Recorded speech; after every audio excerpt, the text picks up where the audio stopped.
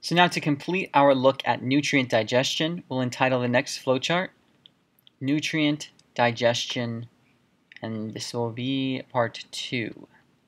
So here continue to look at figure 41.12 as we go through this to see this in a more visually representative form. Now, the other two nutrients that we have to look at and how they're digested are nucleic acids and lipids. So let's begin by looking at nucleic acids. Let me rewrite that. Nucleic acids.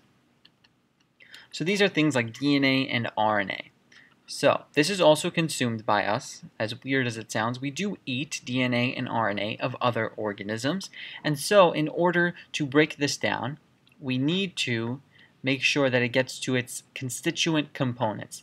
We need to break down to smaller components like nitrogenous bases, N bases for short, the sugars that are found within DNA like deoxyribose and ribose, we need those, and we also want the specific phosphate backbone molecules. We want those separated. Altogether, we want to just break down DNA and RNA into its specific components. And in order to do that, we have to utilize digestion. So how and when do we do this? Let's first begin at the oral cavity.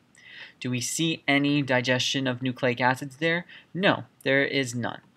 Now we'll move to the stomach. Is there any digestion of nucleic acids there? No, there is none. There is going to be digestion of nucleic acids at that very important small intestine, the major site of digestion and absorption. So let's take a look at what happens here. Small intestine. Here, what we have is the following. From the pancreas, so the pancreas as an accessory gland does a lot. It will exocrine secrete pancreatic juice. So pancreatic juice, PJ, has within it what are known as pancreatic, they come from the pancreas, nucleases. Pancreatic nucleases will be good at breaking down DNA and RNA, thus the name nucleases for breaking down nucleic acids. In addition, the small intestine itself produces two things that are also good at breaking down DNA and RNA. Those are nucleotidases, because DNA and RNA is made up of a bunch of nucleotides, and also phosphatases. Phosphatases. These will break down and break off those phosphates that we want. So these are uh, components of nucleic acids that we want that cells want to uptake and we get them by utilizing pancreatic nucleases, nucleotidases, and phosphatases. So basically in summary what we can state is that the small intestine as a major structure of digestion and breakdown will be the place at which we have overall as a result of these enzymes we're going to have the breakdown of both DNA and RNA that was ingested. Okay, so that covers our look at nucleic acids. One final nutrient to look at, and this one's a little bit more complicated than the others, are lipids. Lipids are just fats. When we eat fats, they are going to be ingested, we're going to consume them in a form that is called triacylglycerides. That's usually how we consume fats. Triacylglycerides. These are more commonly just referred to as triglycerides. You can also call them triacylglycerides, whatever you're feeling. So these are fats. What are we supposed to do with them? Well, first of all, off the boat, off the top, there is going to be uh, a problem. And the problem is that fats, as molecules, as macromolecules, are generally speaking very much hydrophobic. Now, why is this a problem? What do all of the enzymes that break down stuff in digestion use? Hydrolysis they need to use water. Enzymes use hydrolysis, okay, hydrolysis. They use this process. That means that they themselves can't act on these hydrophobic lipids because they are afraid of them. The water is not going to interact well with the lipid that is hydrophobic. Therefore, we state that these enzymes can only really access the surface of fats.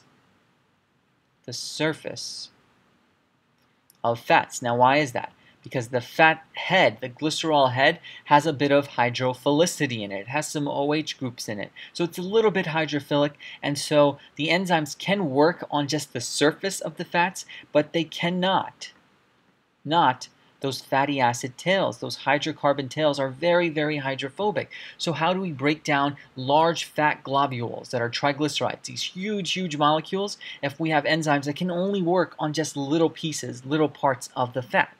We can do this by utilizing a couple of different enzymes. Now, be, before we get into that, let's take a look at what happens at the oral cavity. Do we have any breakdown of fats at the oral cavity? I'll tell you that there's very, very little breakdown in this, almost negligible amount.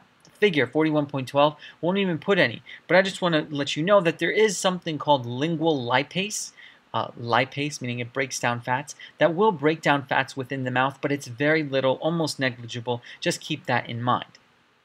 Now, there will also be something that will happen in the stomach the stomach will also have very, very little breakdown of fats. Your notes don't mention this, but again, I want to be as accurate as possible with you. I won't write it down, but it's called gastric lipase. Gastric lipase is also within the stomach, both of which, uh, lingual lipase and gastric lipase, do do a little bit of breaking down of lipids, but not for the purposes of this course. You don't really need to know that. So I just want to make sure that's clear that's very, very little, almost negligible. Where the majority of this happens is in the small intestine, and that's utilizing something known as bile salts. We've mentioned bile salts before, but we sort of uh, uh, brushed over their function. Let's look at their function in a little bit more detail.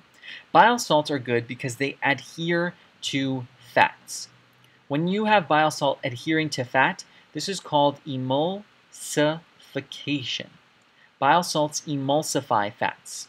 Emulsification. Uh, let me rewrite that. Emulsification. So bile salts emulsify fats. What does that mean? When you have emulsification via bile salts on fats, what we do is the following. This causes a breakup of the large masses, because fats are very large molecules, large masses of fats into smaller droplets. Much more accessible, much more digestible, much more breakable, smaller fat droplets.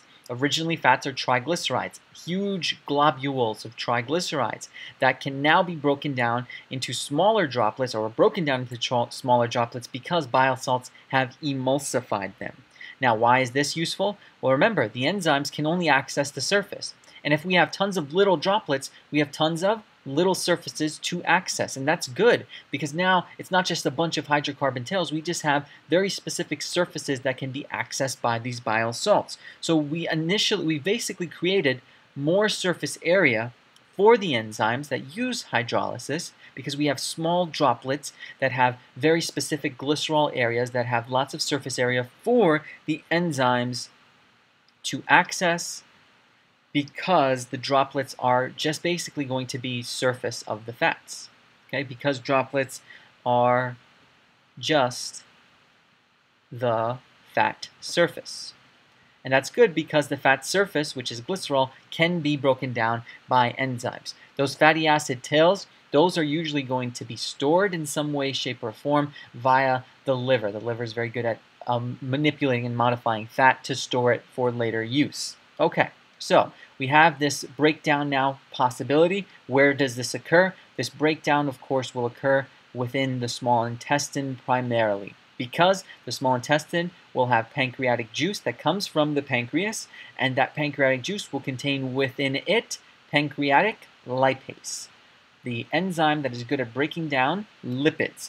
And it breaks down these lipids, it breaks down to uh, a couple of different constituent components. That would be the glycerol molecule will become its own thing. We can utilize that for other stuff, fatty acids, and also monoglycerides. So the fatty acids will be sort of cleaved off and they'll be sent off to somewhere else, and monoglycerides may also be sort of formed as a result of this breakdown of a triglyceride. So we get the glycerol head, we get the individual fatty acids, and sometimes we just get one fatty acid tail and one glycerol head as a result of lipid nutrient digestion. That covers our look at nutrient digestion. Be sure to take a look at the figure to see exactly where and what is occurring in what parts of the different compartments, and we'll finally conclude this lecture by looking at the term and idea of absorption.